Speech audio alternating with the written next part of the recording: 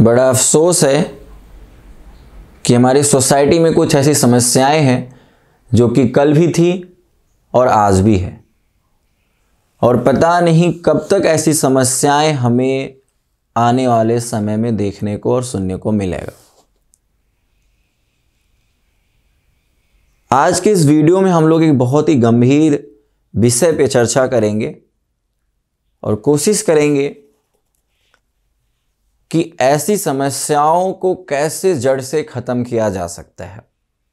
साथ ही साथ, वर्तमान समय में एक एक्सीडेंट हुआ है। उसको भी जानेंगे और प्रशासन किस तरीके से उसे इग्नोर कर रही है। कैसे ऐसे मुद्दों को वो बढ़ावा दे रही है। इस पे भी चर्चा करेंगे। इस वीडियो को लास्ट तक देखिएगा। चैनल पर नए हो तो चैनल को सब्सक्राइब कीजिएगा और इस वीडियो को शेयर ज़रूर कीजिएगा। आज के इस वीडियो में हम लोग बात करने वाले हैं, लड़कियों के लिए कैंपस कितना ज़्यादा सुरक्षित है? या यूँ बोलें कि कितना ज़्यादा असुरक्षित है? मैं उम्मीद करता हूँ कि इस वीडियो को लड़कियाँ ज़रूर फॉलो करेंगी। पूरा लास्ट तक देखेंगे। और इस वीडियो को अपने गार्जियन तक भी पहुंचाइएगा, क्योंकि अभी जो चीज़ें हमें कैंपस में देखने को मिली हैं, जो चीज़ें हमें न्यूज़पेपर में पढ़ने को मिला है, या न्यूज़ चैनल्स के वीडियोज़ में देखने को मिला है, वो गार्जियन के अंदर एक डर पैदा किया होगा। तो कहीं ना कहीं उन्हें रियलिटी पता चलना चाहिए। और समस्याएँ कितना गंभीर हैं, उसके बारे में भी उन्हें पता चलना चाहिए। तो सबसे पहले मैं आपको अपना एक स्टोरी सुनाता हूँ। लगभग तीन, साढ़े तीन साल का समय यूट्यूब पे हो रहा है मेरा, जिसमें बहुत सारे बच्चों से बातें हुई, बहुत सारे लोगों से मुलाकातें हुई। और बहुत सारे लोगों की कहानियाँ, यानी उनके रियल स्टोरीज सुनने का मौका मिला। जिसमें कुछ ऐसे स्टोरीज रहे, या आप यूँ बोलो कि सिचुएशंस जो कि कहीं ना कहीं हमारे समाज के बहुत ही बुरे स्तर को दिखाता है। मेरे यहाँ ही पढ़ने वाली कुछ ऐसी लड़कियाँ थी, जिनके गार्जियन एडमिशन होते होते उनका एडमिशन नहीं होने दिए, जबकि उनका सिलेक्शन हो गया था। बस इसलिए कि लड़की बाहर नहीं जाएगी, नहीं तो लड़की बिगड़ जाएगी या लड़की के साथ कुछ हो जाएगा। इस लेवल तक का डर है गार्जियन के अंदर अपनी बेटियों को लेकर एक एक्सीडेंट ये भी सुनने को मिला कि एक लड़की है, उसके बाजू वाले यानी पड़ोसन जो होते हैं, जो पड़ोसी होते हैं, वो या रिश्तेदार ये उसके गार्जियन को सजेस्ट कर रहे हैं कि आपकी बेटी बाहर पढ़ने जाएगी तो वो बिगड़ जाएगी या आपकी बेटी सुरक्षित नहीं रहेगी। अब मैं आपको बताता हूँ कि ये जो लोग कहने वाले हैं, वो क्यों कहते हैं और गार्जियन आपके क्यों डर जाते हैं? क्योंकि जब वो न्यूज़पेपर में ऐसे हेडलाइन पढ़ते हैं कि विश्वविद्यालय में लड़की के साथ दुर्व्यवहार हो रहा है, या मोलेस्टेशन हुआ, या लड़कियाँ असुरक्षित हैं, रात में वो लाइब्रेरी नहीं जा सकती हैं या कोई लड़का उन्हें छेड़ दिया, परेशान कर दिया, और प्रशासन लड़के का ना पता कर लगा पाई, ना ही उस पर कोई एक्शन हो पाया।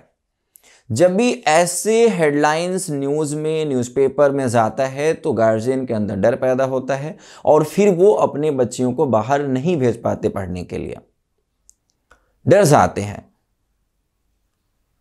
और वही चीज़ें पड़ोसी के थ्रू, रिश्तेदार के थ्रू या स्वयं आपके गार्जियन फील कर लेते हैं, महसूस कर लेते हैं, फिर उस पर एक्शन लेते हैं। अभी हाल ही में विश्वविद्यालय में एक दिव्यांग छात्रा के साथ छेड़छाड़ का मामला सामने आया है।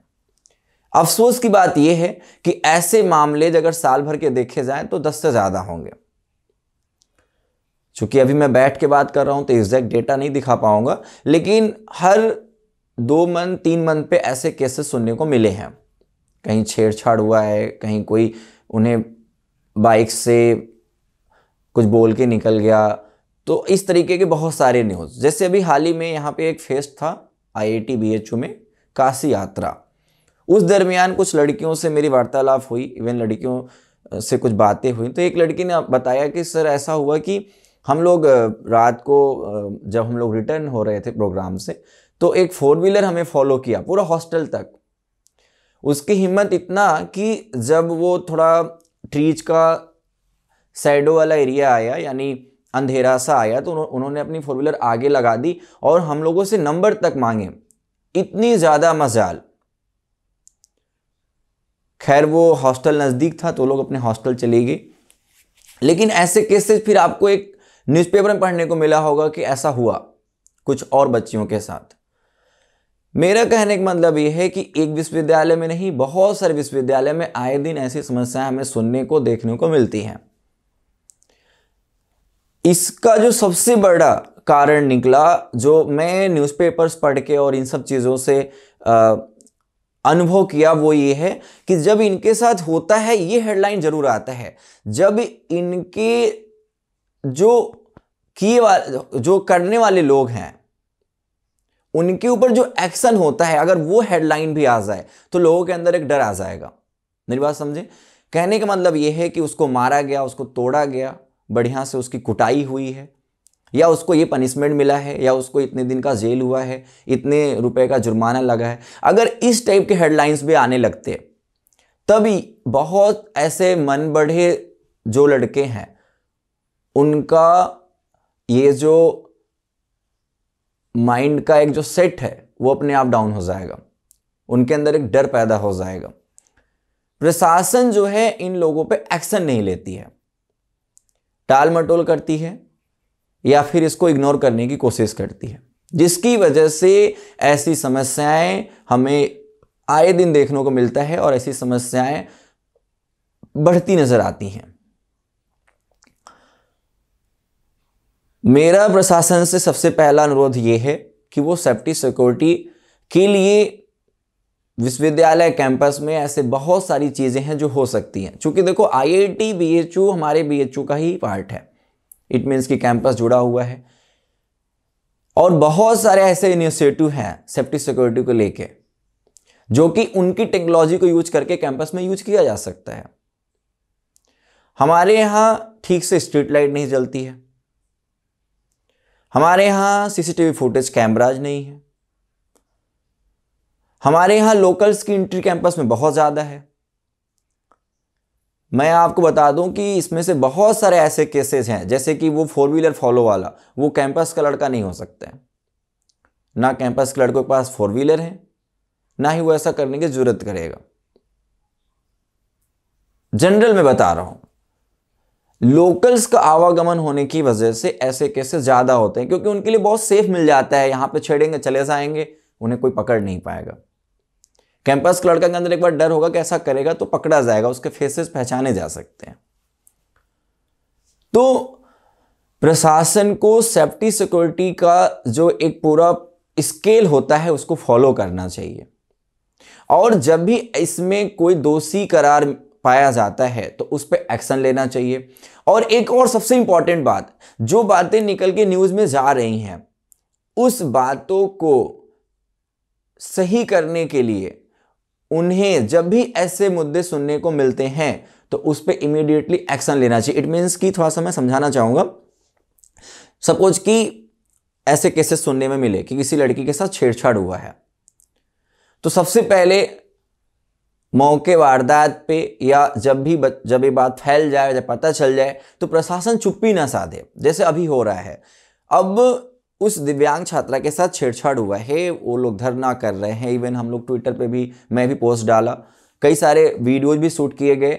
बहुत सारे लोगों ने इसको फॉलो किया, लेकिन मजाल नहीं है कि जो इससे जुड़े हुए प्रशासनिक लोग हैं, उन्होंने इस पर कोई भी कार्रवाई करी या विज़िट करा। एटलीस्ट उन्हें बात करना चाहिए, और बात करने के बाद एक जो मैसेज होता है वो पब्लिक भी करना चाहिए, कि ऐसी अगर चीज़ें हुई हैं तो हम उस पर एक्शन लेंगे, जिससे कि वो दूर जो लोग इस न्यूज़ को सुन के डर जाते हैं, अपनी बच्चियों को नहीं भेजेंगे, कम से कम उन्हें तसल्ली मिल जाएगा कि हाँ ठीक है, अगर एक्शन लिया जाता है इट मीन्स कि लोगों के अंदर डर आएगा और नेक्स्ट टाइम से ऐसा नहीं होगा। ये तो मैं बहुत ही मतलब स्टेप बाय स्टेप एक लॉजिकल टॉक कर रहा हूँ। अब बात आती है नैतिकता का। ऐसे जो मन चढ़े हुए, जो बच्चे हैं, जो बहुत, बच्चे नहीं है, शैतान है वो वो शायद इस वीडियो को देखेंगे भी नहीं, मुझे पता है, क्योंकि वो सब ये सब देखते तो शायद वो ये सब करते ही नहीं। तो लड़कियों के लिए है कि आप लोग अपनी एक यूनिटी बना के रखा करो और कोशिश करो कि ऐसी चीज़ों पे बातें भी होनी चाहिए। देखो, लड़कियों के साथ एक कमी और है कि कभी भी वो अपनी सेफ्टी सिक्योरिटी पे खुद ही बात नहीं करी, कभी नहीं करी। मेरे सा, मेरे मेरे को एक बार दिवाली के टाइम एक केस सुनने को मिला। उस समय मैं घर पे था। किसी के वार्डन ने एक लड़की को परेशान कर दिया। वो आईएमएस से थी। तो मैं बोला, ठीक है, मैं अभी तो फेस्टिवल है, मैं घर पे आया हूँ इमिडिएटली आ नहीं सकता। और आप थोड़ा अभी मैनेज कर लो, ठीक है? अगर वो गालियाँ दिया है या दे रही है या फिर बदतमीज़ी कर रही है, थोड़ा बातों से वो उसे हमेशा टॉर्चर करती थी। फिर मैं आके बात करूँगा एक बार। खैर, उस दरमियान मैं प्रोक्रियल बोर्ड को भी कांटेक्ट करा और मैं करवाया भी कि आप बात कर लो क्योंकि अभी हम लोग बाहर हैं आप अपना आ, उनसे बोलो वो आपकी समस्या सॉर्ट आउट कर देंगे। लेकिन प्रोक्ट्रियल बोर्ड ने उनकी हेल्प नहीं करी थी। उसका मैं खुद विक्टम हूँ। मैं खुद उसको ले गया फिर दूसरे दिन या तीसरे दिन जब मैं आया प्रोक्ट्रियल बोर्ड ले गया फिर उस पर हमने बात करी फिर उन्होंने वार्डन से बात किया। कैसे कैसे जो भी था सॉर्ट आउट हुआ। तो मेरा कहने का मतलब यह है कि प्रोक्ट्रियल बोर्ड को इतना तो समझना पड़ेगा कि ऐसे मुद्दे जब भी उन्हें सुनने को मिलते हैं या शिकायत आती है तो उस पर इमीडिएटली एक्शन लेना चाहिए। वो लेजीनेस दिखाते हैं या फिर इसको इग्नोर करने की कोशिश करते हैं या फिर वो ये भूल जाते हैं उनका, वो यहाँ पे क्यों है? तो मैं लड़कियों को कहना चाहूँगा कि लड़कियाँ जो हैं, वो अपना एक यूनिटी बना के रखें और लड़कियाँ, जैसे अभी जो धरना चल रहा है, उसमें लड़कियों का पार्टिसिपेट थोड़ा ही पार्टिसिपेट नहीं कर रही हैं, जबकि लड़कियों का मुद्दा है, लड़के उसकी लड़ाई लड़ रहे हैं। भगवान ना करे, लेकिन कल किसी और के साथ होगा तो फिर कौन साथ देने आएगा? तो मैं आप सभी से निवेदन करना चाहूँगा कि अगर यूनिटी नहीं रहेगी तो आपका ऐसे ही जगह जगह पे शोषण होगा और आपका आप कुछ नहीं कर पाओगे। और जब भी भीसी साहब से मीटअप होता है या ऐसे कोई एडमिनिस्ट्रेशन लेवल पे अगर मीटअप होता है तो वहाँ पे आप अपनी सेफ्टी की आवाज़ ज़रूर उठाना, अपनी सेफ्टी की बात ज़रूर करना। जैसे कि अब लाइब्रेरी में लड़कियों जाने का परमिशन नहीं है, रात में वो नहीं जा सकती हैं। बस इसलिए क्योंकि प्रशासन के पास वार्डन नहीं है या फिर उनके पास यूँ बोल कि गार्ड नहीं है, और वो इतनी सेफ्टी नहीं दे सकते, इसीलिए उन्होंने, भाई क्यों नहीं दे सकते? टेक्नोलॉजी का ज़माना है, आप बहुत सारे सेशंस चला सकते हो एज अ गर्ल सेफ्टी के लिए। और लड़कों के अंदर भी एक मानसिकता पैदा कर सकते हो, एक अच्छी मानसिकता। भाई एजुकेशन से कुछ भी हो सकता है। चुप्पी साधना या इग्नोर करना किसी भी समस्या का समाधान नहीं है। मेरा मानना है, ऐसे मुद्दों पे सबसे पहले बातें होनी शुरू होनी चाहिए। बहुत रेयरली ही लड़कियों के सेफ्टी के लिए बातें होती हैं। इवन अभी किसी लड़की के साथ छेड़छाड़ हो जाए, उसको कोई कवर करना नहीं चाहेगा। उस पर कोई भी अपना बयान नहीं देना चाहेगा। बिल्कुल नहीं देना चाहेगा। तो लड़कियाँ अगर खुद नहीं आएँगी अपनी लड़ाई लड़ने तो उनकी लड़ाई कौन लड़ेगा? सो प्लीज़ अगर ऐसा चीज़ें सुनने में मिलती हैं तो आप उसका सपोर्ट करो, उस लड़की का। उसके साथ खड़े रहो। और हमेशा अपनी सेफ्टी का जिम्मेवारी खुद लो। थोड़ी मोड़ी बॉक्सिंग तो सीख सकते हो। मैं मैं जहाँ तक समझता हूँ कि थोड़ी मोड़ी बॉक्सिंग सीख लो। और क्योंकि इसकी ज़रूरत अभी आने वाले समय में हमेशा पड़ेगा। कि कितने लोगों के दिमाग बदलोगे? मुँह तोड़ना कोई क्राइम भी नहीं है। आराम से एक दो घुसा तो लगा सकते हो, बढ़िया से लगा सकते हो, चिल्ला सकते हो। और कुछ लड़कियाँ तबीयत से कूट भी सकती हैं। तो मेरे हिसाब से ये चीज़ें आपको आराम से करनी चाहिए। मौका मिले चौका मार दो। क्योंकि जब वो आपके आपके लिए इतनी सारी चीज़ें सोच रहा है, वो मौके का एक फ़ायदा उठा रहा है तो आपको आप जब देखो कि हाँ आप, क्योंकि भाई आपके पास तो सेवन सिक्स सेंस होता है, आप समझ में आ जाए कि नहीं हाँ ये तो मेरे साथ ऐसा कर रहा है। तो आप सोच के उस पर एक्शन ले सकते हो। और बाकी इसका लिखित कंप्लेन कर सकते हो। सोशल मीडिया है आपके पास। तो यूनिटी बहुत ज़्यादा इंपॉर्टेंट है गर्ल्स के लिए और ऐसे मुद्दों पे बात बहुत ज़्यादा इंपॉर्टेंट है, दो चीज़ें और इस वीडियो को अगर गार्जियन देख रहे हैं तो मैं गार्जियन से एक बात बोलना चाहूँगा कि जब भी न्यूज़ में आप ऐसी चीज़ें पढ़ते हो इट मीन्स कि ये नहीं कि आप अपनी बेटियों को बाहर निकलने से रोकना। कतई ऐसा नहीं करना है। सोसाइटी में अच्छाई बुराई सब कुछ है, अच्छे लोग भी हैं, आपकी बेटी का मदद करने वाले लोग भी हैं। और आपकी बेटी आप आप अपनी बेटी को खुद इतनी स्ट्रांग बना दो, कुछ ऐसी चीज़ें समझाओ, सिखाओ, कि वो आके यहाँ पे आराम से सरवाइव कर सके। वो लोगों से घुल मिल सके, बातें कर सके, अपनी पढ़ाई कर सके, लेकिन उसको रोकना सही नहीं है। तो चूँकि मैं तो यहीं का हूँ, बनारस का हूँ और मैं जो अपने रिश्तेदारों में जाता हूँ, चूँकि मेरे रिश्तेदार भी बनारस में ही हैं तो वो लोग भी उस हेडलाइन को पढ़े होते हैं, जबकि उनके लिए बीएचयू बहुत दूर नहीं है। फिर भी वो कैंपस का उतना इंटरनल नॉलेज नहीं है। हाँ लेकिन न्यूज़ की हेडलाइन पढ़ लेते तो मेरे से भी आस्क करते हैं कि, यार, आजकल डेली ऐसे केसेस सुनने को मिल रहे हैं, क्या कर रही है प्रशासन? मेरे पास भी कोई जवाब नहीं होता है। तो बीएचयू प्रशासन को टेक्नोलॉजी का यूज़ करना चाहिए। और जब भी ऐसे इसमें इन्वॉल्व लोग मिले, उन उन पे एक्शन लेना चाहिए और उसको बकायदा न्यूज़ में हेडलाइन बनाना चाहिए, जिससे कि एक दूसरा मैसेज भी जाए कि ऐसा करा तो उसकी कुटाई हुई है, उसको जुर्माना लगा है या जेल हुआ है, जिससे कि ये चीज़ें कंफर्म हो जाए बाकी बच्चों को जो ऐसे हैं, जो गंदे हैं, उनके अंदर डर एक भय आ जाए। दोबारा करने से डरेंगे। पुलिस के डंडे के सामने अच्छे अच्छे लोग सुधर जाते हैं। बाकी बहुत सारे सुझाव मैं चाहूँगा कि आप लोग कमेंट्स में खुद दें, लड़कियाँ ज़रूर दें, खुद दें। और उसको बाकी लोग पढ़ें और उसको अमल करें। मैं ऑलरेडी गर्ल्स के ऊपर बहुत सारे वीडियोस बनाया हूँ और उनके सेफ्टी सिक्योरिटी पे, उनके शिक्षा पे और ए, मैं ये बात भी बोलता हूँ कि लड़कियाँ जब भी गाँव से बाहर निकल के आती हैं पढ़ने के लिए या अपने घर से बाहर निकल के आती हैं पढ़ने के लिए तो पीछे एक बड़ा लंबी कतार छोड़ के आती हैं। अगर आज 300 लड़कियाँ बाहर निकल के पढ़ने आई हैं तो पीछे तीन हज़ार तीस हज़ार तीन लाख लड़कियाँ छूट गई हैं। तो आपको ऐसा करना पड़ेगा आपको इतनी अच्छी पढ़ाई करनी पड़ेगी कि उन बाकी लड़कियों को मौका मिले पढ़ने का। वो बाहर आएँ और वो अच्छे से पढ़ें। क्योंकि देखो, समाज को चलाने का जो दायित्व वो लड़कियों के पास ही है, महिलाओं के पास ही है। बाकी दुनिया तो बैलेंस दोनों लोगों से होता है, लेकिन फिर भी वो सर्वोपरि हैं और प्रमुख हैं। और हर लड़कों को महिलाओं का रेस्पेक्ट करना चाहिए। रेस्पेक्ट मोस्ट इंपॉर्टेंट इज़्ज़त नहीं है तो प्यार नहीं हो सकता है। खैर, यहाँ पे तो प्यार की बात ही नहीं कर सकते हैं। जब लोग इस तरीके से छेड़छाड़ पे आ जा रहे हैं तो वहाँ पे प्यार का क्या ही वैल्यू तो ऐसे गंदी मानसिकता वाले लोगों को संभल जाना चाहिए। किसी न किसी दिन कहीं ना कहीं कुटे जाएँगे। पहली चीज़ और दूसरी चीज़ कि लड़कियाँ खुद कूट देना इस बार। इसमें थोड़ा भी सोच, सोचना मत।